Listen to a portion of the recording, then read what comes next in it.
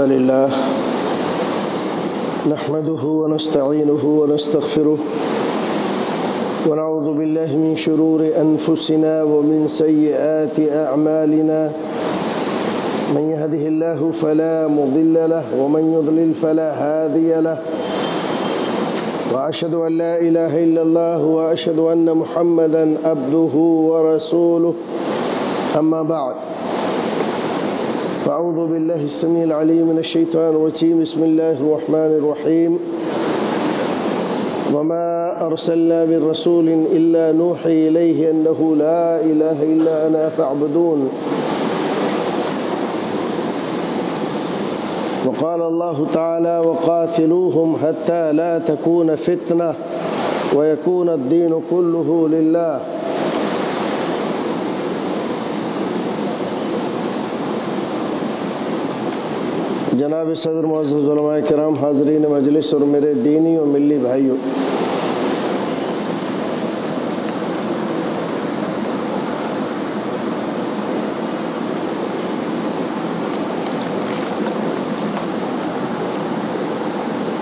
इस कायनात में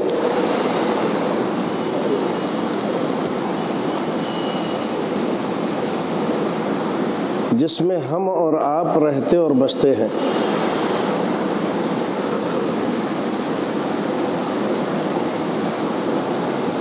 फरिश्तों के अलावा एक और वजूद भी है।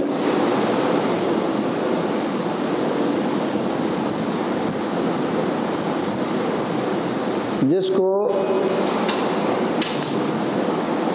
जिन के नाम से याद करते हैं, एक पूरी कौम है।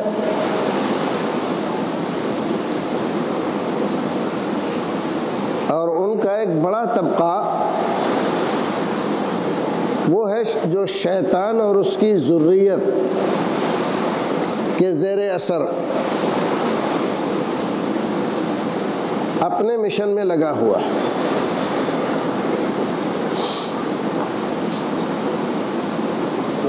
उसी की कोशिशों के नतीजे में इस दुनिया में शर, फसाद फितना।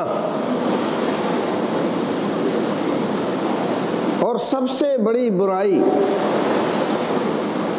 पनपती है, जन्म लेती है, बाकी है, और उसी ने हर ज़माने में हक के दाइयों के रास्ते में रोड़े अटकाने की कोशिश की है। अल्लाह रब्बुल इज़्ज़त से बागी होकर उसने इस बात का ऐलान किया था कि मैं इस इंसान को, जिसको तूने पैदा किया है और फरिश्तों से सजदा करवाया है और मैं इनकार करता हूँ सजदा करने से, मैं इसको इस लायक नहीं छोड़ूँगा कि ये जन्नत में जा सके। इसकी फजीलत, इसका दर्जा, इसका मर्तबा, इसकी अच्छाई, इसकी बेहतरी, इन सारी चीज़ों को मैं बदल कर रख दूँगा। और ये बयानात और ये चीज़ें, तफसीलात कुरान शरीफ में जगह जगह बयान की गई हैं और आपने बारहा सुनी होंगी।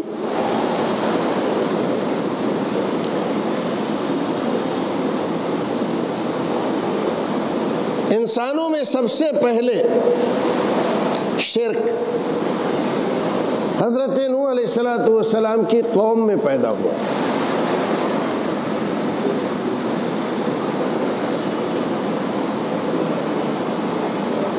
हज़रत नूसलाम की कौम के बुज़ुर्ग, नेक साले वली, अल्लाह के इबादत गुजार, मुखलसिन बंदे। शैतान ने बड़ी चालाकी और चतुराई से कौम के सामने उनकी अच्छाइयाँ, इबादतें, रियाजतें खलूस लाहियत उनकी दुआओं के असरात, उनकी ज़िंदगी के वाक़ात करामतें, इन तमाम चीज़ों को उजागर किया। और इंसान के दिलों में उनकी मोहब्बत रफ्ता रफ्ता ऐसी डाली ऐसी डाली कि और चीज़ें दब गईं। और ये मोहब्बत बुजुर्गान दीन अलिया कराम और अपने बुज़ुर्गों के साथ अकीदत, एहतराम, मोहब्बत। इस जज्बे को इतना परवान चढ़ाया कि तीसरी नस्ल के लोग, कौम नूह के, इन्हीं बुज़ुर्गों को हाजत रवा और मुश्किल कुशा मानने लगे। और यहाँ से शुरू होता है वो मारका, जिसको मारका हक व बातिल कहते अल्लाह रब्ज़त इरशाद फरमाता है कि जितने नबी भी हमने भेजे, जितने रसूल इस दुनिया में मबूस किए तो जब वो अपनी कौम के सामने खड़े हुए तो उन्होंने दावत दी। तो सबसे पहले तोहीद की दावत दी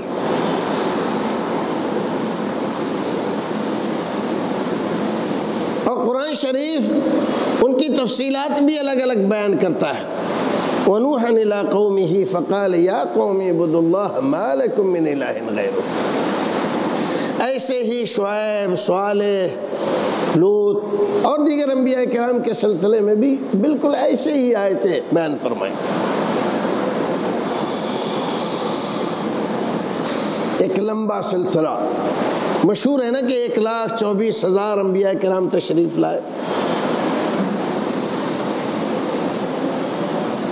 हमारा ताल्लुक इस कायनात की तरफ़ भेजे गए आखिरी नबी और रसूल सैदुलवलिन वलाखरीन मोहम्मद रसूलुल्लाह सल्लल्लाहु अलैहि वसल्लम की उम्मत से है। और ये बात हमारे लिए काबिल फ़ख्र और जितना अल्लाह रबुल्ज़त का हम शुक्रिया अदा करें इस बात पर, उतना कम है। हमारे रसूल ने भी अपनी कौम के सामने जो सबसे पहला वाज फरमाया, कौम को दावत दी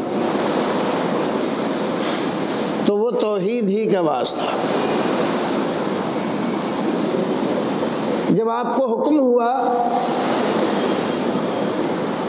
कि आप अपने घर वालों को समझाइए घर वालों को समझाया आस पास वालों को समझाइए, उनको समझाया। आखिर एक मरहला आया, हुक्म हुआ, फसदा बेमातू उमर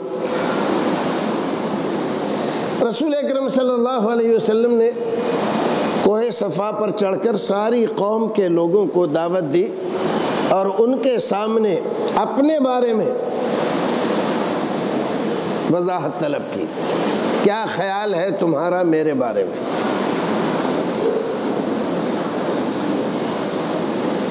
वो सारी बात तफसील से बयान नहीं की जा सकती कि इतना वक्त नहीं है। खुलासा उसका ये कि कौम सारी की सारी इस बात पर मुतफिक है कि आप सच्चे हैं और आपकी किसी बात में भी हमें शक व शुबा नहीं। एहतराम, इज़्ज़त। और किसी भी शख्सियत के लिए इससे बड़ी और कोई बात नहीं हो सकती कि उसकी कौम का हर फर्द इस बात पर मुतफिक है कि ये सच्चा है, इसकी कोई बात गलत नहीं है। ये एतराफ़ कराने के बाद आपने ऐलान किया। या युहन्नास बोलू ला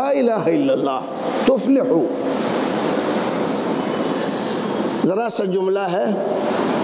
ऐ लोगो, ला इल्लल्लाह कहो, तुफलिहू, कामयाब हो जाओगे। तीन लफ्ज़, एक लोगों को खिताब, दूसरा अल्लाह रब्बुल इज़्ज़त की वहदानियत, तीसरा उसका नतीजा। तो पहले दिन से हमारे नबी ने यह बतलाया कि कामयाबी का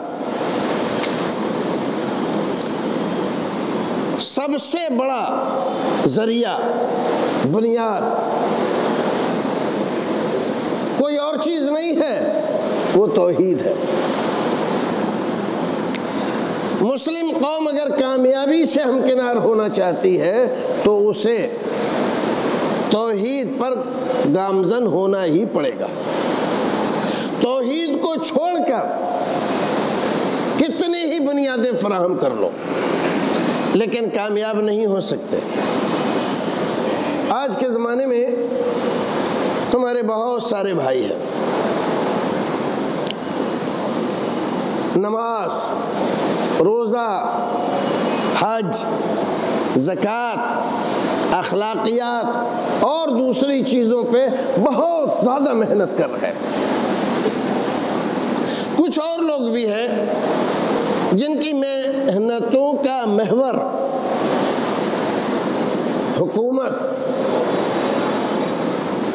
सियादत और क़ियादत है। कुछ और लोग भी हैं जो दूसरे मैदानों में मेहनत कर रहे हैं। इकतसादियात में, सियासियात में। और क्या क्या बुनियादें फराहम की है? लेकिन हम देख रहे हैं कि उम्मत मुस्लिमा बराबर तनजुली की तरफ़ गामजन है। यहाँ पर मुसीबतों और परेशानियों के अंबार लगे हुए हैं और ये मुसीबतें ख़त्म होकर नहीं दे रही वजह वजह वही है कि जो नुस्खा नबी ने पहले दिन फरमाया था कि फलाह कामयाबी इस नुस्खे से मिलेगी, उस नुस्खे को ना अपना कर दूसरे बहुत सारे नुस्खों से काम निकालने की कोशिश की जा रही है। हद तो ये है कि कलम इस्लाम जिसको पढ़कर कोई आदमी इस्लाम में दाखिल होता है। आज के ज़माने में उम्मत मुस्लिमा का अक्सरियती तबका इस कलमे की तफहीम में ऐसे शकूक व शुबहत ऐसे मुगालते और ऐसी अजब किस्म की तावीलात से दो चार है कि तोहीद उनके हाथ नहीं आ रही है। तमाम अम्बिया कराम ने ला इल्लल्लाह ला इल्लल्लाह की दावत दी। क्या माना है ला इल्लल्लाह के? हमारे यहाँ बहुत सारे भाई, जब उनसे कहा जाए कि ला इल्लल्लाह के माना बताइए। तो कहते हैं, ला इलाहा नहीं है कोई माबूद मगर अल्लाह। हमारे यहाँ पोस्टरों में, अखबारों में, और बहुत सारे जो कैलेंडर छापे जाते हैं, उनमें, ला इलाहा नहीं है कोई माबूद मगर अल्लाह। यही लिखा रहता है। और सब लोग यही समझते हैं कि यही इसका माना है। इतना काफ़ी है, हालाँकि ये सही नहीं है, दुरुस्त नहीं है, गलत है। बहुत सारे लोगों ने ला इल्लल्लाह, उसका माना किया, ला इल्लल्लाह, ला मौजूद ला मौजूद वजूद नहीं है सिवाय अल्लाह के। यानी जो कुछ भी वजूद नज़र आता है, ये अल्लाह का वजूद है। हम उसका नकीद, अकीदा। इतिहाद हलूल का अकीदा। और कुछ लोगों ने ला इलाहा इल्लल्लाह, ला हाकिम इल्लल्लाह।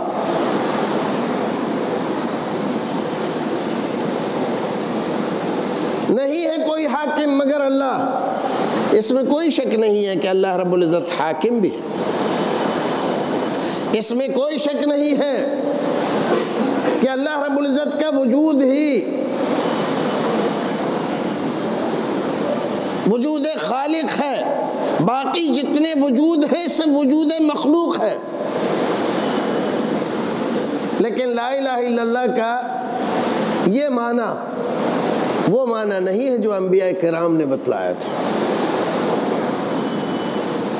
अब आप अंदाज़ा लगा सकते हैं कि उम्मत मुस्लिमा अकीदे में किस कदर बिगाड़ का शिकार है।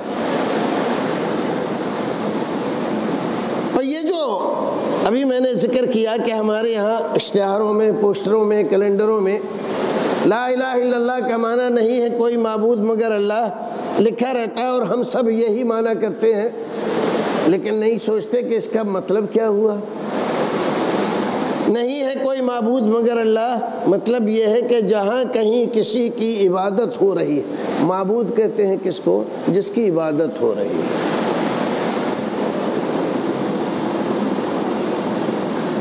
तो जिसकी भी इबादत हो रही है वो ही अल्लाह है। मस्जिद में जो इबादत हो रही है जिसकी, वो भी अल्लाह है। और मंदिर में जिसकी हो रही है, वो भी अल्लाह है। कनीसा में हो रही है, वो भी अल्लाह है। सोमा में हो रही है, वो भी अल्लाह है। गिरजा में हो रही है, वो भी अल्लाह है। ये क्या है? क्या ये तोहीद है? क्या इसके लिए अम्बिया कराम व तस्लीम ने तकलीफ़ें उठाई, मारे खाई? भाइयों, मामला बहुत ज़्यादा ख़राब है। ये हमारे भाई कराम जो अकीदे के मसाइल को अलग अलग अंदाज से आपके सामने रखते रहते हैं, वजह उसकी यही है कि अकीदा अगर दुरुस्त है,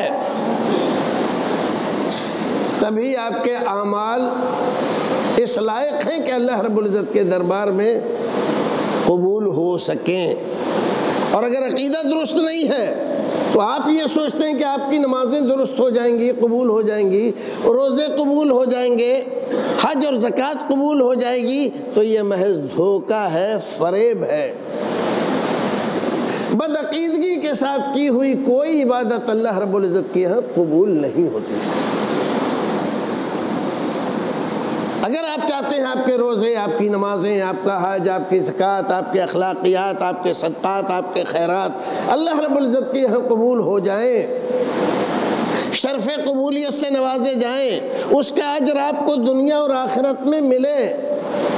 तो ज़रूरी है कि आप अपने अकीदे को दुरुस्त करें, अकीदे को सही करें।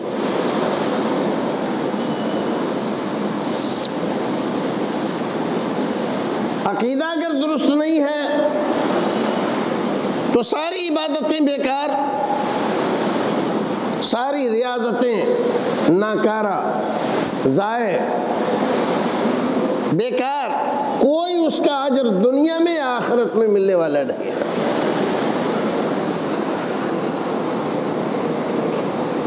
रसूल अकरम सल्लल्लाहु अलैहि वसल्लम ने दीन के लिए मेहनत की। आजकल एक लफ्ज़ बहुत ज़्यादा फ़ेमस है। दीन की मेहनत, दीन का काम, दीन के लिए वक्त। कोई भी ताबीर, कोई भी लफ्ज़ कह लो, रसूल अकरम सल्लल्लाहु अलैहि वसल्लम ने दीन के लिए मेहनत की। आप देखते हैं कि तेरह साल, कितने साल? तेरह साल। जब तक आप मक्के में रहे, नमाज़ बा जमात का नज़म नहीं था। महराज में नमाज़ फ़र्ज़ हो गई थी। ये हिजरत से कुछ पहले का वाक़ है ज़क़़त फ़र्ज़ नहीं थी। बाकायदा रोज़ों का और हज का जैसे आज है, ये अहतमाम और ये फरीज़ा यूँ नहीं था। रसूल अकरम वसल्लम नमाज़ भी पढ़ते थे सबका खैरात भी करते थे, साहबा कराम भी गरीबों, मस्किनों को खाना खिलाया करते थे, ये सब कुछ होता था। लेकिन मेहनत किस पे हो रही थी? मेहनत हो रही थी अकीदे पर। कितने साल? तेरह साल मुसलसल। मुसलसल तेरह साल मेहनत करने के नतीजे में एक जमात पैदा हुई, जिनको हम और आप और तारीख साहब कराम रजवान तजमाइन की जमात कहते अकीदे में वो हैरत अंगेज महरकूल नाकाबिल यकीन किरदार, जन्म दिए, पैदा किए, जो आज के ज़माने में हम सोच नहीं सकते। लेकिन ये सलाबत, ये इस्तकामत, ये पुख्तगी और ये हक की खातिर मशक्क़तें, तकलीफ़ें, परेशानियाँ बर्दाश्त करने की हिम्मत और हौसला अगर पैदा हुआ उनके अंदर तो नमाज़ों से नहीं, रोज़ों से नहीं हज और ज़क़़त से नहीं, किसी और बात से नहीं, पैदा हुआ सिर्फ़ अकीदे से। हज़रत बिलाल हबशी, साहिब रूमी, अम्मार इबन यासर, उनका घराना, ये चंद नाम हैं जो अक्सर आप सुनते रहते हैं। जिन्होंने इस्लाम की खातिर अपनी जानों की परवाह नहीं की। आप अंदाज़ा लगा सकते हैं कि अंगारे, कोयले, लकड़ी जलाई जाए, दहकाई जाए और उसका एक बिस्तर बनाया जाए। और जब वो दहक कर लाल हो जाए तो उस पर लाकर एक मुसलमान को लिटाया जाए और उससे कहा जाए कि अब ला इलाहा का इनकार कर दो। अल्लाह एक है, अकेला है, उसका कोई शरीक नहीं, वही इबादत के लायक है। इस बात को मत मानो। इनकार कर दो इसका। अगर इनकार कर दोगे, ला इलाहा का इनकार करोगे तो हम तुम्हें यहाँ से उठाकर इज़्ज़त व एहतराम से पेश आएँगे। और नहीं तो नहीं तो ऐसी ही सज़ाएँ तुम्हें दी जाएँगी। ज़रा किसी इंसान को उसकी उंगली लेकर कहीं आग पर अंगारे पर रख कर देखिए क्या हाल होता है उसका। कितनी देर वो सवाद कदमी दिखाता है। कितनी देर तक वो उसको बर्दाश्त कर सकता है। ये अफसाने नहीं हैं। ये हकीकतें हैं। ये अकीदत और मोहब्बत में ईजाद की हुई कहानियाँ नहीं हैं। ये वो हकीकतें हैं जो चश्मे फलक ने देखी और इंसानों ने अपनी आँखों से महसूस किया कि हाँ ये क्या हो रहा है। अल्लाह हज़रत अम्बार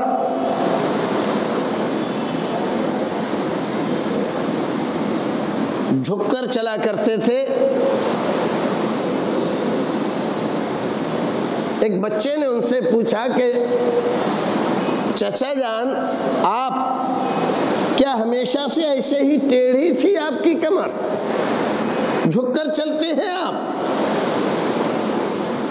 फरमाया, नहीं बेटा, मैं भी तुम्हारी तरह सीधा होकर चला करता था। फिर क्या हुआ? कहा कि छोड़ो, रहने दो। ये दास्तान बहुत तकलीफ़ दे है, तुम उसको सुन नहीं सको। इसरार किया। जब बहुत ज़्यादा इसरार किया तो उन्होंने अपनी पीठ से अपना कुर्ता उठाया। कहा कि ज़रा देखो। तो देखा तो पीठ पर गोश्त नज़र नहीं आया। हड्डियाँ और चमड़ी, और वो चमड़ी जली हुई। कहा, ये क्या है? वो बच्चा दहशत ज़दा रह गया, क्योंकि उसने किसी की पीठ ऐसे नहीं देखी थी। फरमाया, बेटा, मक्के में हमारे साथ ऐसा ऐसा किया जाता था, अंगारों पर लिटाया जाता था, जिसकी वजह से गोश्त और चर्बी पिघल पिघल कर अंगारों को बुझा दिया कर दी थी। और हम ला कहते रहते थे। ये सलाबत, ये पुख्तगी अकीदे की वजह से थी, किसी और वजह से नहीं थी। तारीख में जितने भी बड़े वाक़ात मर्दों के हों या औरतों के हों उनकी सबात कदमी के हो, ये सब अकीदे ने जन्म दिए हैं, किसी और चीज़ ने नहीं। अकीदा ही वो चीज़ है जो किसी कौम को इज़्ज़त दिलाती है और किसी कौम के सामने खड़ा होने की हिम्मत पैदा करती है। और अगर अकीदा नहीं है तो आप आप इस दौर में आप देख लो, वो लोग जिनको फौज, पुलिस और सब तरह की हुकूमत की मराहत हासिल है, हिमायतें हासिल हैं।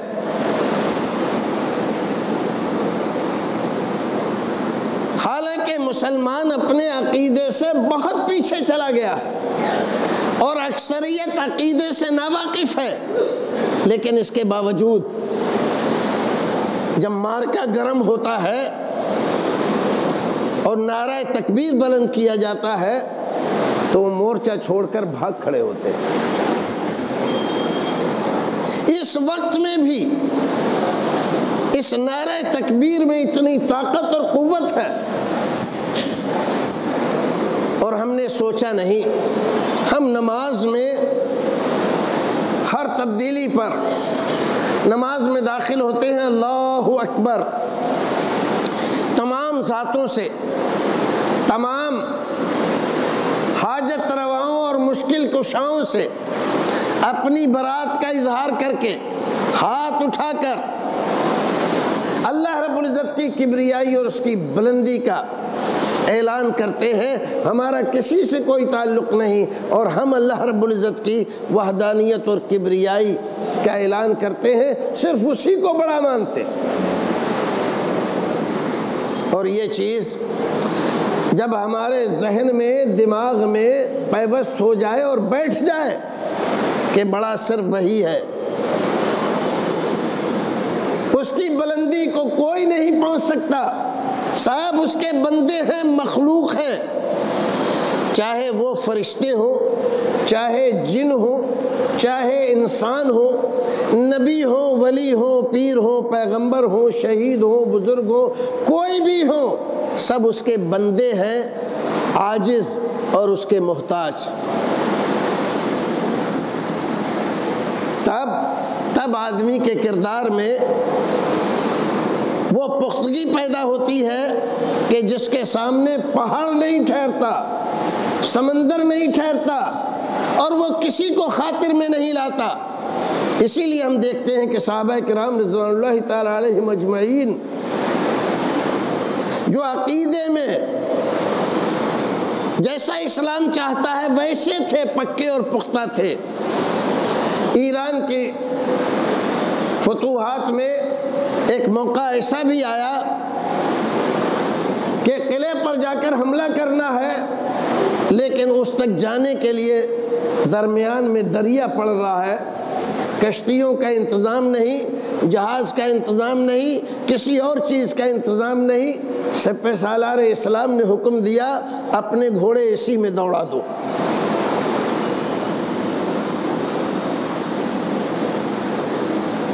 समंदर में घोड़े डाल दिए और पार निकल गए। ईरानी कौम ये देखकर दहशत जदा हो गई। और उनकी जुबानों से निकला, देवा आमदन देवा आमदन देव आ गई ये इंसान नहीं है, इनको इंसान नहीं माना जा सकता। ये क्या था? एतमाद और हौसला। हज़रत खालिद इबन वलीद के सिलसिले में मर्रखीन ने लिखा कि उन्होंने एक आदमी से ऐसी बहस हो गई कि ये क्या है कि जहर है? क्या करता है कि मार देता है इंसान को? कहा कि इसमें क्या ताकत है ये मार दे। और उन्होंने वो जहर सबके सामने पी लिया। थोड़ी सी तकलीफ़ तो हुई। तगैर तो आया। लर्जिश तो हुई बदन में, लेकिन फिर झुरझुरी लेकर और खड़े हो गए। और बाद लोगों ने तो यहाँ तक लिखा कि जवानी औद कर आई ये क्या था? अल्लाह पर एतमाद व यकीन। मारना और जिलाना जहर के बस की बात नहीं है। ये तो काम अल्लाह रबुल्ज़त का है।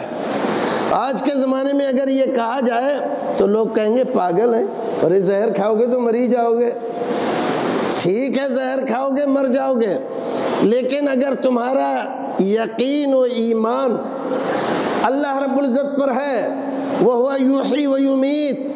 वही मारता है, वही जलाता है। बाकी किसी में कोई ताकत नहीं। और ये पक्का है।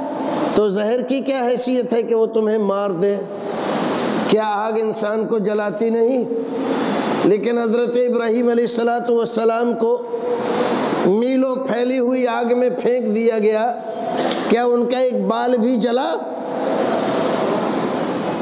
हज़रत इसमाईल सलाम को लिटाकर उनके सीने पर घुटना जमाकर और हुलकूम पे छुरी फेरी गई। किस लिए? ताकि ज़िबा हो जाए। लेकिन क्या वो ज़िबा हुए? छुरी का काम तो काटना ही है। लेकिन क्या छुरी ने काटा? नहीं काटा। दरिया का काम, पानी का काम इंसान को डुबो देना है, ख़त्म कर देना है। लेकिन हज़रत मूसा सलाम जब हैरान और परेशान दरिया के किनारे खड़े हैं और कौम की मलामतें सुन रहे हैं तो ज़ुबान पर यही है इन रबी सयाहदीन। मेरा रब मुझे रास्ता दिखाएगा। हुक्म हुआ इधर बसा कलबा अपनी लाठी समंदर पर मारो। समंदर पर लाठी मारी, दरिया दो हिस्से में बट गया। जिस ज़मीन ने कभी सूरज नहीं देखा था, उसने सूरज देखा। निकल जाओ। निकल गए। और फिर पीछे से फिरौन का लश्कर आया। तो हुक्म हुआ, मिल जाओ। तो वैसे ही बहने लगा जैसे पहले बह रहा था। जिनके बारे में दुनिया सोच रही थी कि इनको तो डूबना ही है, इनके नसीब में आज का दिन ज़िंदगी का आखिरी दिन है, मरना है। वो तो बच गए। और जो ये सोच रहे थे कि हमें तो बहुत ज़माने तक ज़िंदा रहना है, वो ख़त्म हो गए। ये सारी हैरत अंगेज़ मालूम जो कुरान हमें देता है, सही अदीस हमें देती है, ये सब हमारे अकीदे को पक्का और पुख्ता करती है। अकीदे पर मेहनत, असल दीन की मेहनत है। और अगर अकीदे पर मेहनत नहीं है, आप नमाज़ पाँच वक्त की नहीं, सात वक्त की, दस वक्त की पढ़ें आप। हज़ार रकतें पढ़ें। हर दिन रोज़ा रखें, हर साल हज करें, जक़ात से दुगना माल खर्च करें। लेकिन अकीदा दुरुस्त नहीं है तो आप समझ लें कि आपका कोई अमल कबूल नहीं है। अकीदे पर मेहनत होना बहुत ज़रूरी है। अम्बिया कराम से दुश्मनी अखलाक की बुनियाद पर नहीं हुई। उनके की बुनियाद पर नहीं हुई, उनके किरदार की बुनियाद पर नहीं हुई। किस बुनियाद पर हुई? अकीदे की बुनियाद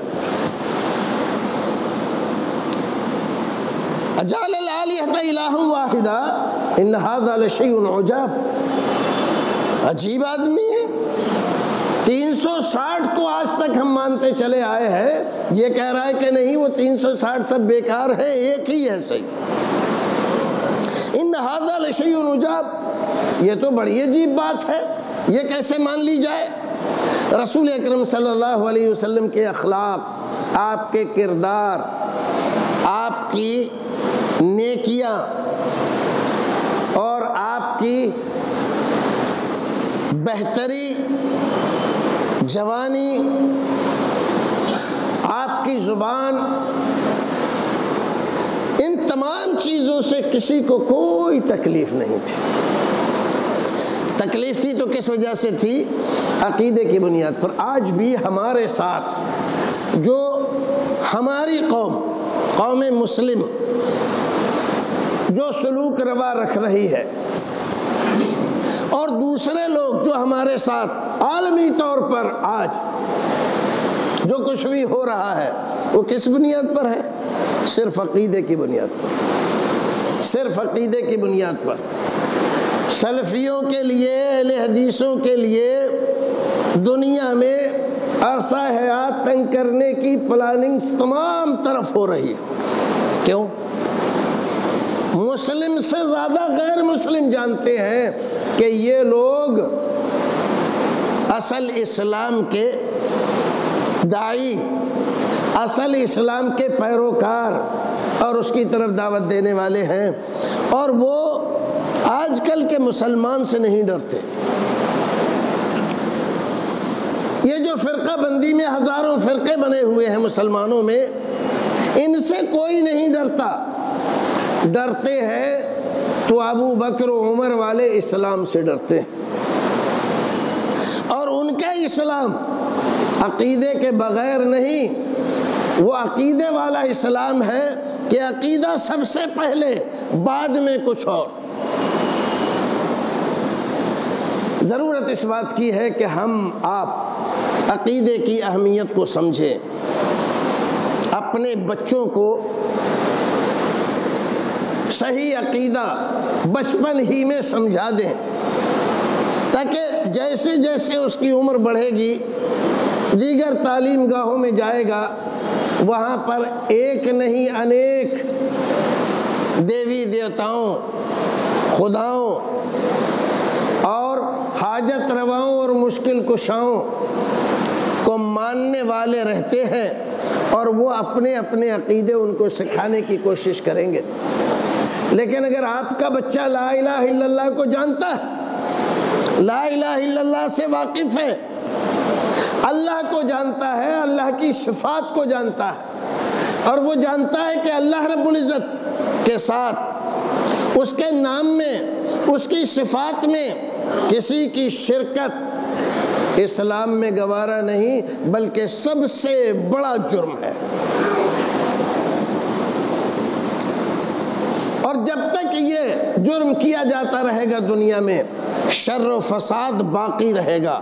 और जिस दिन ये जुर्म बंद हो जाएगा, अल्लाह रब्बुल के साथ शिर का जुर्म। उस दिन दुनिया अमन अमान से हो जाएगी। इन शिरकल्म नदीम वक़ातिलूहुम हत्ता ला तकून फितना। वयकून दीन कुल्लुल्ला यहाँ फितना किसको कहा गया है? शिरक को कहा जब तक शिरक बाकी है, हमारी लड़ाई बाकी है। हमारी मार काराई बाकी है। हमें चैन से बैठना नसीब नहीं है। वक्त फुर्सत है कहाँ? काम अभी बाकी है। नूर तोहीद का इतमाम अभी बाकी। अकीदा जब तक दुरुस्त नहीं हो जाता, मुसलमान घरानों में ज़रा देखो आज के ज़माने में, नमाज़ पढ़ती हैं हमारी ख़वातीन, रोज़ा भी रखती है। इसके बावजूद किसी के दंड में तावीज़ बंधे हुए हैं और किसी के कमर में बंधे हुए हैं। किसी के जांग में बंधे हुए हैं, किसी की चोटी में बंधे हुए हैं, किसी ने तकिए में सी रखे हैं, किसी ने दरवाजे में लटका रखे हैं, और किसी ने कुछ और और कर रखा है। ये सर क्या है? अकीदा न होने की वजह से ये सारी चीज़ें हो रही हैं। आज मैं किताब पढ़ रहा था, किताब अहले हदीस और सियासत। और तस्करा आया उसमें दायान अहले हदीस में मुबलगिन इस्लाम में, हज़रत मौलाना मोहम्मद अली रामपुरी रहमतुल्लाह अलैह का। साउथ के इलाके में जब दावत तबलीग के लिए गए और अल्लाह रब्ज़त ने उनकी ज़ुबान में ऐसी तासीर रखी थी कि लोग सुनते थे तो बात मानते थे, लेकिन शैतान तो हमेशा से अपनी ज़रूरीत के साथ तोहद का दुश्मन बनकर खड़ा होता ही है। वाक़ लिखा है, अरकाट, आज भी जगह मौजूद है वहाँ के नवाब की बेगम का। बेगम ने नवाब से कहा, अहले हदीस हो गई अपने शोहर से पहले। घर में रस्म रिवाज और शिरक बिदत की रस्में बड़ी ज़्यादा उस ज़माने में, अब तक कुछ ज़माना पहले तक, जिसकी माली हालियत जितनी अच्छी होती थी, उतने ही ज़्यादा उसके घर में रस्म व रिवाज और शिरकियात और बिदात होती थी। जब घर के लोगों ने और नवाब ने उनसे कहा कि ऐसा ऐसा करो तो उस खातून ने कहा कि सुनो जी, मैं आपकी बीवी हूँ। मेरे लिए आपका हुक्म हुक्म का दर्जा रखता है। मैं आपकी सारी बातें मानूँगी। जो दुनिया के ताल्लुक़ से, घर के ताल्लुक़ से, बच्चों के ताल्लुक़ से होगा। लेकिन जो मामला आखिरत का है, जो मामला कब्र से मुतक़ है, जो मामला अल्लाह से मुतक़ है, इस बारे में मैं आपकी बात नहीं मान सकती। क्यों? इसलिए कि कब्र में आप मेरा साथ देने नहीं आएँगे। आखिरत में मेरी तरफ़ से जवाबदेही करने के लिए खड़े नहीं होंगे। इसलिए इन तमाम चीज़ों के बारे में मुझसे ना कहा जाए। मैं कोई शिर का काम नहीं करूँगी। सुबह अल्लाह औरतें, ख़वातीन, इस्लाम को समझ जाएँ, अगर अकीदे को समझ जाएँ तो फिर इसलाह मुकम्मल हो जाती है। हमारे यहाँ सबसे बड़ी ख़राबी यही है कि मर्दों में तो तबलीग बहुत होती है, अकीदा भी जानते हैं, नमाज़ रोज़ा भी जानते हैं, लेकिन ख़वातीन की हालत बड़ी ख़राब है। इस्लाम ने जिस तरह से मर्दों को अकीदा समझाया, इसी औरतों को भी समझाया।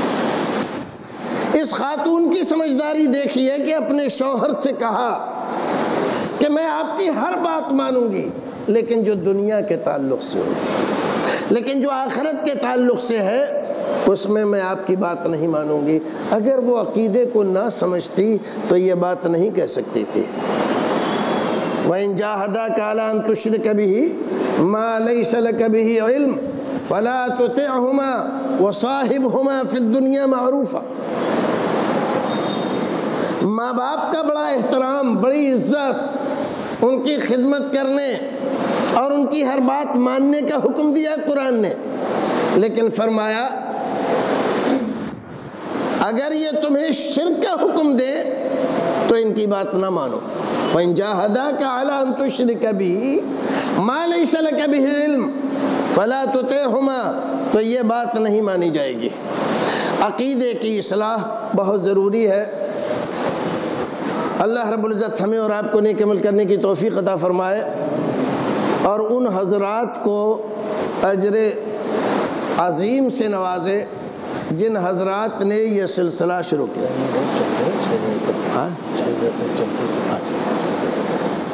जिन हजरात ने यह सिलसिला शुरू किया कि बच्चों को अकीदे की तफहीम कराई जाए। उनको बतलाया जाए कि अकीदा क्या है। फारसी में कहते हैं कि खिश्ते अव्वल चून हद में मार कज था सुरैया मीरवत दीवार कज। अगर आप कोई बिल्डिंग बना रहे हैं और नी उसकी टेढ़ी रखी है आपने तो आसमान तक आप बिल्डिंग उठा कर ले जाइए। सीधी नहीं हो सकती, टेढ़ी ही रहेगी। लेकिन अगर आपने नींव उसकी बुनियाद सीधी रखी है, दुरुस्त रखी है तो कहीं तक आप उसको ले जाइए। वो दुरुस्त ही रहेगी, सीधी ही रहेगी। अगर आप चाहते हैं आपके बच्चे सारी ज़िंदगी अपने रब को जाने और पहचाने और उसी की इबादत करें। शिरक से बचें, रस्म व रिवाज से बचें। शिरक की गलाजतों और गंदगियों से बचें। तो ज़रूरी है कि बच्चों को बचपन ही से अकीदे पर आप उस्तवार करें उन्हें। उनके जहन में ये बात डालें कि ये सारी कायनात बनाई जिसने है, उसी के हाथ में नफ़ा नुकसान है। बनाना और बिगाड़ना है, नफ़ा या नुकसान पहुंचाना है, बीमार वो डालता है तो शिफा भी वही देता है, किसी दवा में शिफा नहीं है। दवा शिफा नहीं देती किसी वहीज़ा मरिस्तफ़ीन हज़रत इब्राहिम सलाम फरमाते हैं, मैं जब बीमार पड़ जाता हूँ तो शिफा मुझे वही देता है। तारीख़ का एक वाक़ अकबर अकबर आज़म, जिसको हमारे यहाँ बहुत सारे लोग, अकबर द ग्रेट और किन किन नामों से मुग़ल आज़म और किस किन नामों से याद करते हैं? आखिरी वक्त हुआ। दस्त लग गए बेचारे को। शाही तबीब बुलाया गया। ऐसी हालत हो रही है। अरे क्या ये कोई मामूली बात है, कोई बात नहीं, अभी ठीक हो जाते हैं। एक सफूफ निकाला, कहा, लीजिए इसकी फंकी मार लीजिए पानी से, अभी दस्त ख़त्म हो जाएँगे। फंकी मार ली। हकीम साहब तो चले गए, लेकिन यहाँ कोई फ़र्क नहीं पड़ा। फिर बुलाया गया कि आप का सफूफ काम नहीं कर रहा है। कहा, कैसे नहीं काम कर रहा है? उनको भी शक हो गया, कोई दूसरा सफूफ तो नहीं दे दिया, फिर एक खुराक दे दी। आपके खाइए, बिल्कुल सही हो जाएँगे। फिर मार ली। लेकिन फ़ायदा कुछ नहीं। जारी है दस्त। फिर बुलाया गया अकबर अपने गैज़ गज़ब शाही में आकर, जलाल में आकर। उसको धमकाने लगा। उसने कहा कि सुनिए, मेरी दवा, मेरी तशखीस, मेरा सफूफ नाकारा नहीं है। और आप इसका तजर्बा करना चाहते हैं? मंगाइए एक गिलास पानी। एक गिलास पानी मंगवाया गया। और उतना ही एक चुटकी लेकर सफूफ उसमें डाला। देखिए, देखा सारा पानी जम गया। सारा पानी का देखिए, इस सफूफ की तासीर ये है। ये बहते दरिया को रोक सकता है। आपके दस की तो हैसियत क्या है? फिर हमारे दस क्यों नहीं रुक रहे? का इसलिए कि अब ये दवा के बस की बात नहीं रही। अब ये तो हुक्म ऊपर वाले का है, जिसने इस दवा में तासीर रखी है, उसने इसकी तासीर आपके लिए सल्ब कर ली है। अब हो सकता, अब तो उसी से दुआ की जा सकती है।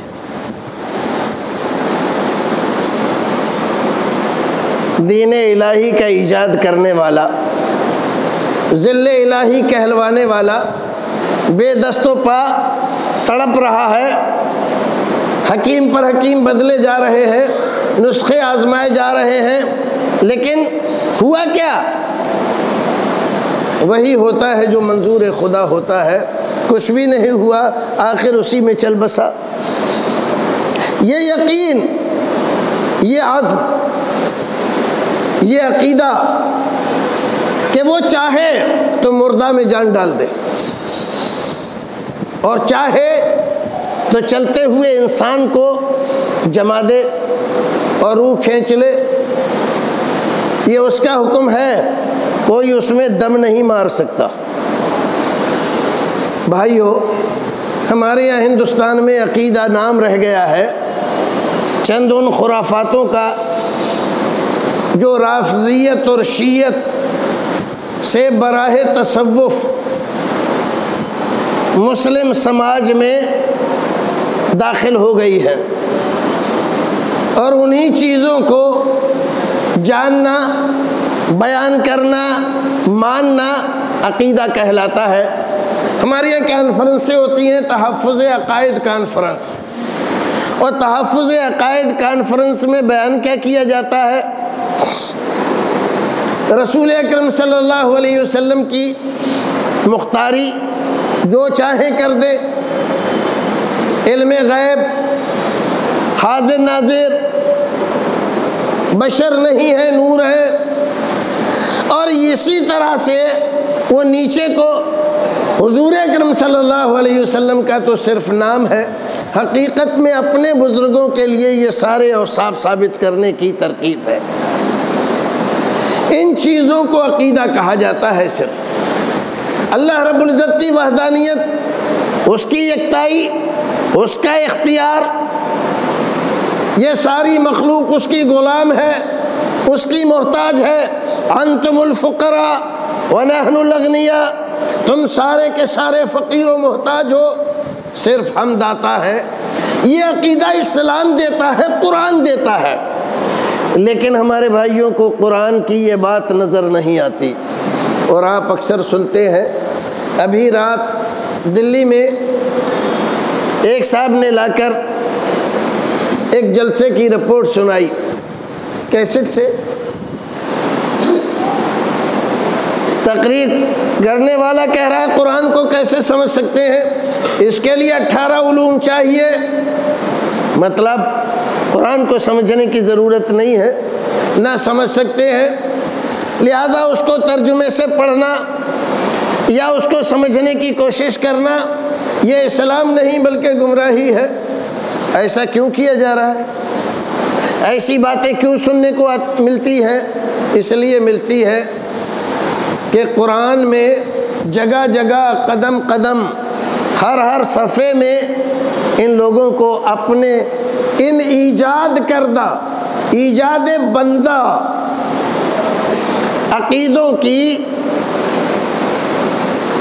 तरदीद मिलती है। इसलिए मना करते हैं, कुरान को ना पढ़ो, कुरान को तर्जुमे से ना पढ़ो। अगर कुरान को तर्जुमे से पढ़ेंगे तो इन अकीदों को कैसे मान सकते हैं? जगह जगह कुरान ये कहता है माँ कैन लदीहिम इज़ुलकून अकलाम ए नबी, आप वहाँ नहीं थे। जब ये लोग अपने कलम डालकर मरियम के सिलसिले में कुरानदाजी कर रहे थे, आप वहाँ नहीं थे। माँ कुंता लदीहिम। जगह जगह कहता, आप वहाँ नहीं थे। आप वहाँ नहीं थे। और यहाँ कीदा ये सिखाया जा रहा है कि आप हर जगह हाजिर नाजिर कैसे मेल खाए? हर जगह मौजूद है। कुरान कहे कि आप हर जगह मौजूद नहीं हैं। यहाँ सिखाया जा रहा है कि आपको ज़मीन का, आसमान का, माजी का, मुस्तकबिल का, यहाँ तक के लोग जन्नत में दाखिल हो जाए। हर हर बात मालूम है। एक एक तफसीलात आपके इल्म में है, कोई चीज़ आपके इल्म से बाहर नहीं है। यहाँ तक के रसूल अकरम का तो दर्जा बहुत अजीम है। उनके एक मानने वाले, एक उम्मती का दर्जा ये बतलाए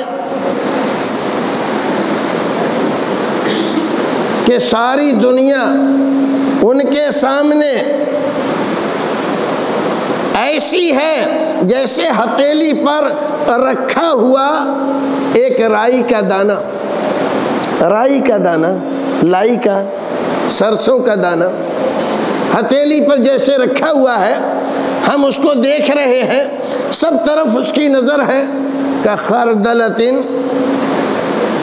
राई के दाने की तरह से, वो जानते हैं, और उनके बारे में ये कहा जाए कि जब सूरज निकलता है तो इजाज़त लेता है कि इधर से तुलू हो। चाँद निकलता है नई तारीख का तो इजाज़त लेता है किधर से तुलू हूँ। कोई बला और मुसीबत आती है तो उनसे इजाज़त लेकर आती है। ये अकीदे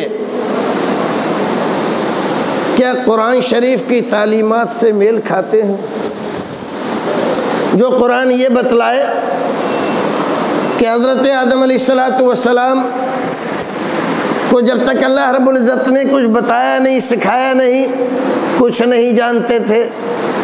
वालम आदम असमाकुल्ला जब सिखा दिया तो फरिश्तों से भी आगे हो गए। फरिश्ते जो अल्लाह रब्ज़त की बहुत अजीम और बरगुजीदा मखलूक है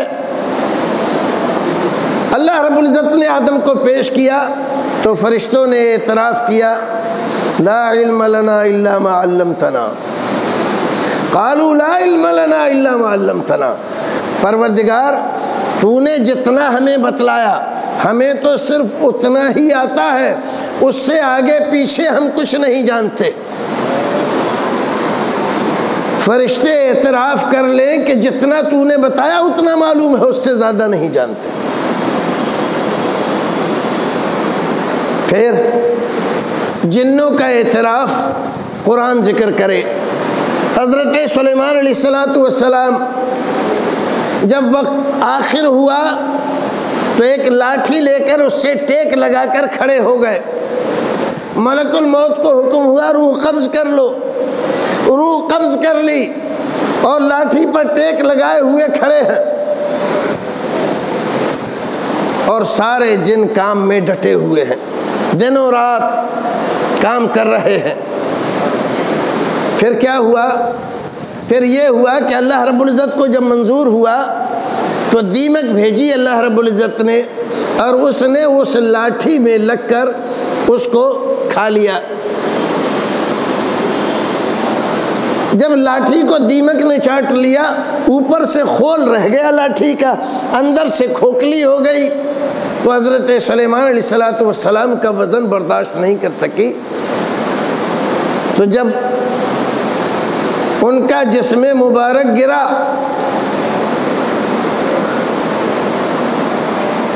तो जिन्नों में खलबली मच गई। ये क्या हुआ? सलेमान कैसे गिर गए? आकर देखा तो पता चला ये तो बहुत ज़माने के दुनिया से जा चुके हैं।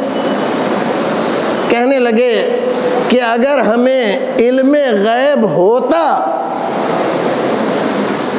तो कभी भी इस ज़िल्लत आमेज़ अजाब में न फंसे रहते।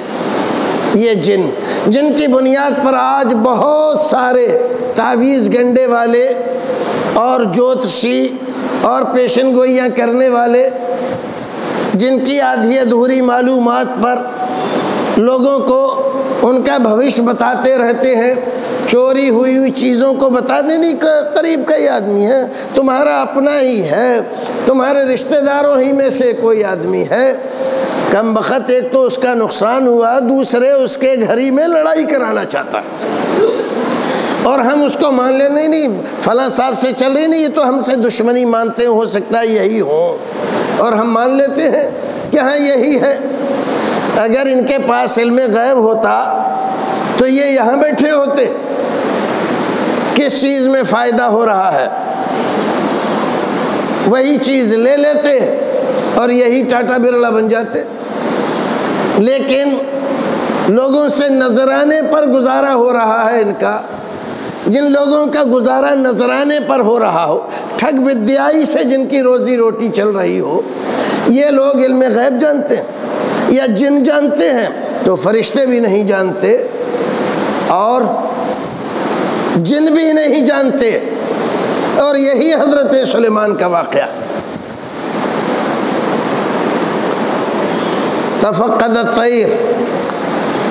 एक बार परिंदों की हाज़िरी ली हज़रत सलेमान सलाम ने। देखा कि हदूद नहीं है, कहा कि हदूद कहाँ है? ये गैर हाजिर कैसे है? इसको सख्त सज़ा दूँगा। इसको जबह कर दूँगा। थोड़ी देर के बाद हदूद आया। कहाँ थे? कहा कि ऐसी जगह से आ रहा हूँ, एक कौम के पास से, जिसके लोग सूरज की परस्तिश करते हैं। एक मलिका उनकी बादशाह है, और ऐसा है और वैसा है, और उसमें क्या कहता है? मेरे पास यकीनी खबर और इल्म है जो आपके पास नहीं है। खुद खुद कह रहा है किससे? हज़रत सलेमान से। मैं वो खबर लेकर आया हूँ, मैं वो इल्म लेकर आया हूँ जो आपके पास नहीं है। वह भी था क्या? ये हदहदी वहाबी था। नबी से कह रहा है कि मैं ज़्यादा जानता हूँ, आप नहीं जानते। कहा कि अच्छा हम देखेंगे तुझे, आजमाएँगे, तेरी बात सही है या गलत है? अगर गलत निकली तो सख्त सजा देंगे। कहा कि देख लीजिए अच्छा जाओ, हमारा ये ख़त ले जाओ। ले गए और वहाँ पर जाकर मलिका के दरबार में ख़त पहुँचा दिया। मलिका ने पढ़ा, सारा वाक़ कुरान शरीफ में मौजूद है। ये है नबियों का मामला। हज़रत याकूब सलाम भाइयों ने हज़रत यूसुफ से दुश्मनी की, हसद में, दुश्मनी में उनके कपड़े उतार के और उनको एक अंधे कुएँ में डाला है। और अब्बा के सामने, वजाऊ अबा हमेशा रोते हुए आए। जैसे आजकल एक कौम रोती है। कि हमने शहीद नहीं किया, हमने कत्ल नहीं किया? कम वक्त तो और तुमने नहीं किया तो और किसने किया? तुम ही तो थे वहाँ। वजाऊ अबा हमेशा यबकून। रोते हुए आए, ऐसा हो गया, वैसा हो गया, और यूसुफ को भेड़िया खा गया। भेड़िया खा गया ताजुब की बात है। कहाँ का पढ़ा हुआ था ये भेड़िया? सारा यूसुफ खा गया। और कुर्ते पर खरोश तक नहीं लगी। बड़ा काबिल, बड़ा साइंटिस्ट लग रहा है। हज़रत यूसुफ को कुएँ से निकाल कर भाइयों ने दूसरे दिन बेच दिया, काफले वालों के हाथ। यूसुफ यहाँ से जाकर मिस्र के बाज़ार में गुलामों की जगह बेच दिए गए। अज़ीज़ मिस्र के यहाँ बेटे की तरह से रहने लगे। अज़ीज़ मिस्र की बीवी की नीयत खराब हुई। षडयंत्र किया, जेल भिजवा दिया, मुद्दतों जेल में पड़े रहे। और हज़रत याकूब सलाम यहाँ रो रो कर अपने आप को बेहाल किए हुए हैं। आँखों की रोशनी चली गई। आखिर वो वक्त भी आया कि हज़रत यूसुफ़ सलाम मिस्र के बादशाह बन गए। भाई आए, कह, साली हुई, गल्ला लेने के लिए, और वाक़ात आपने सुने होंगे, हज़रत यूसुफ़ सलाम ने अपना कुर्ता,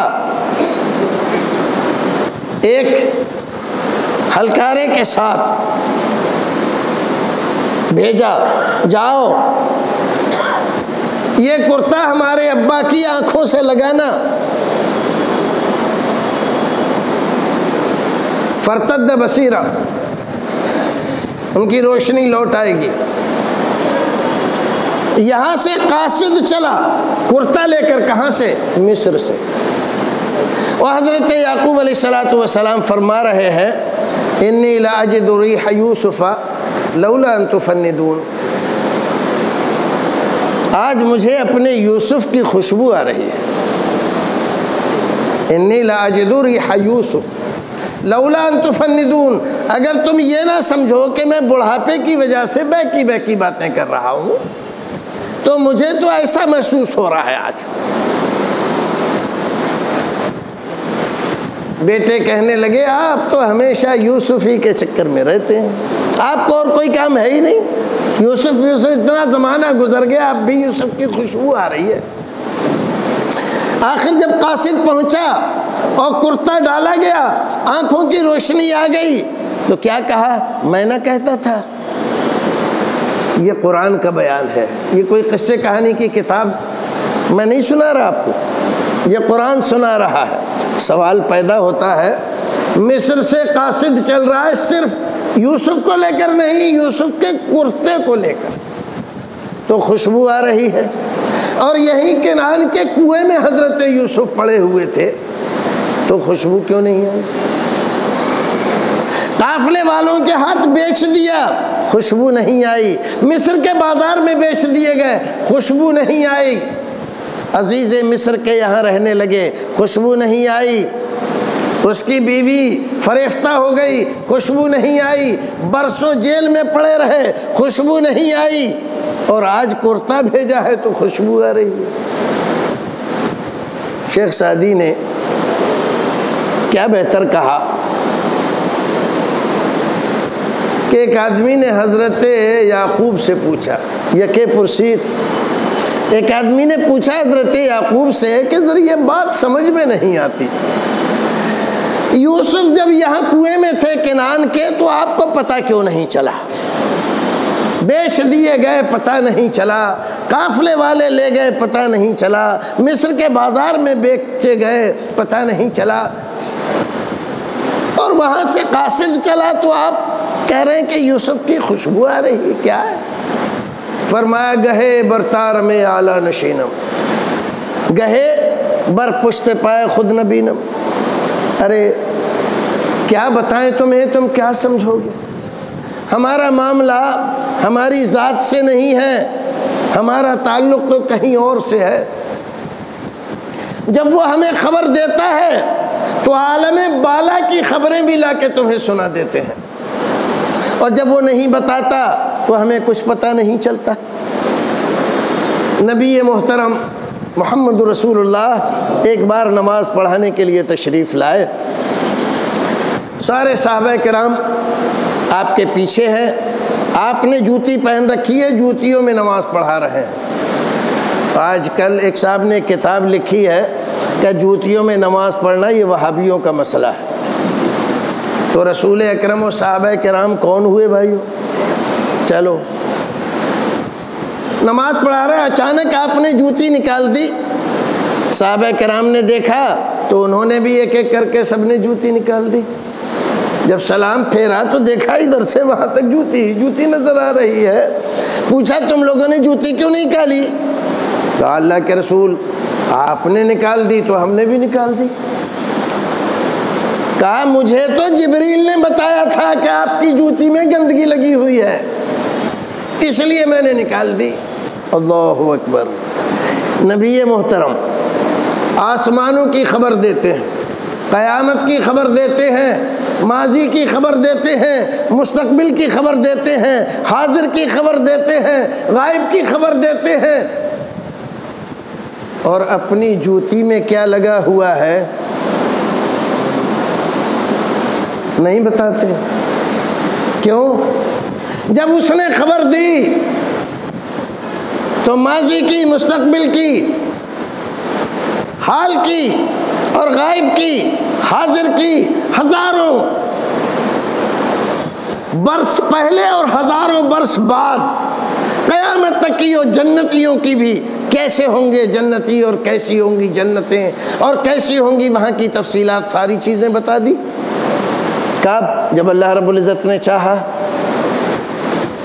और जब नहीं चाहा तो ये भी पता नहीं चला कि जूती में क्या लगा। हज़रत जबरील से वादा हुआ कि फ़लाँ वक्त आएँगे। आप घर के अंदर परेशान हैं, जबरील नहीं आए। जबरील नहीं आए। जबरील नहीं आए, वादा कर गए थे। आज तक कभी वादा खिलाफी नहीं की। वो तो कभी लेट होते नहीं हैं, कभी वादा खिलाफी नहीं करते हैं, फिर क्यों नहीं आए? जब नहीं बर्दाश्त हुआ तो दरवाजे से बाहर निकले। ये किस्सा कहानी नहीं है, बुखारी शरीफ की रिवायत है ये। घर के बाहर कदम रखा तो देखा जबरील खड़े हैं। कहा, जबरील, कब से इंतज़ार कर रहा हूँ? आज वादे के बरखिलाफ। कहा कि, हुजूर, मैं तो वक्त पर आ गया।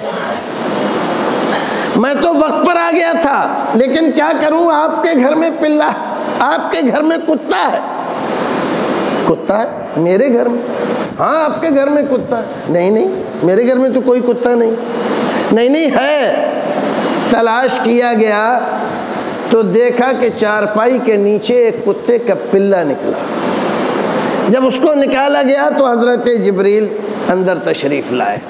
सुबह अल्लाह बाज़ लोग जब इस तरह की हदीसें बयान की जाती हैं तो तावीलें करते हैं। नहीं नहीं, मालूम तो था, तवज्जो नहीं फरमाई थी। यहाँ तो खूब तवज्जो फरमाई। हज़रत जबरील कह रहे हैं, है, आप कह रहे हैं, नहीं है। बगैर तवज्जो के कह रहे हैं, नहीं है। ढूंढा, तलाश किया, तब जाकर मिला। ये अकीदे, ये सब कुरान में, हर पारे में कदम कदम पर इनकी तरदीद हो रही है, इसीलिए लोग मना करते हैं, कुरान मत पढ़ो। भाइयों, अकीदा अगर सीखना है तो कुरान से सीखो अम्बिया कराम की सीरतों से सीखो।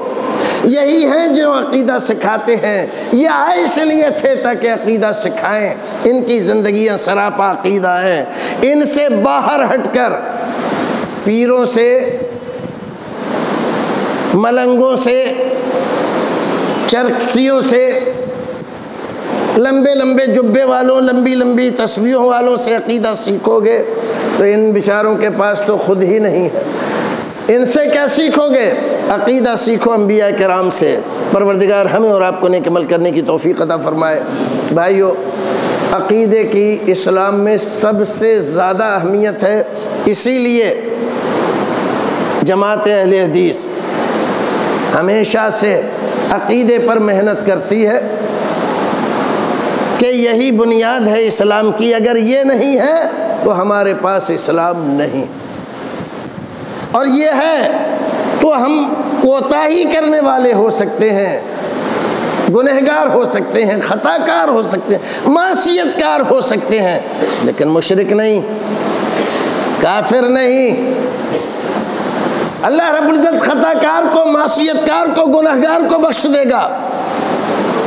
हदीस में फरमाया ना अल्लाह रबुल्ज़त ने, हदीस कुदसी में यबना आदम लवतई तनी बेकुराबिल अर्द खताया, इतने गुनाह करके आया तू मेरे पास के ज़मीन भर गई तेरे गुनाहों से। सब तरह के गुनाह किए, लेकिन शिरक नहीं किया। लाते तो कभी कुराबिहा मकफरा तो मैं तेरे पास ज़मीन भर के मगफरत, बख्शिश लेकर आऊँगा, माफ़ कर दूँगा। वला उबाली। क्या पता चला कि बख्शिश का एक ही ज़रिया है और वो है अकीदे की दुरुस्तगी। शिरक से बचे रहो, कुफ्र से बचे रहो। बाकी ख़ताएँ, गलतियाँ इंसान होने के नाते हो जाती हैं। तौबा करो, अल्लाह रबुल्ज़त माफ़ कर देता है। और बग़ैर तौबा के मर गए शिरक करके तो जहन्नम में जाना यकीनी है, कोई नहीं बचा सकता। परवरदिगार हमें और आपको नहीं कमल करने की तोफ़ी अदा फ़रमाए। हमारे वलमा के सेहत और आफ़ियत को परवरदिगार यकीनी बनाए। उनके हौसलों को जवान रखे परवरदिगार और उनकी मेहनतों को शरफ़ कबूलियत से नवाजे। व वाखिर दावान अलहमदिल्ला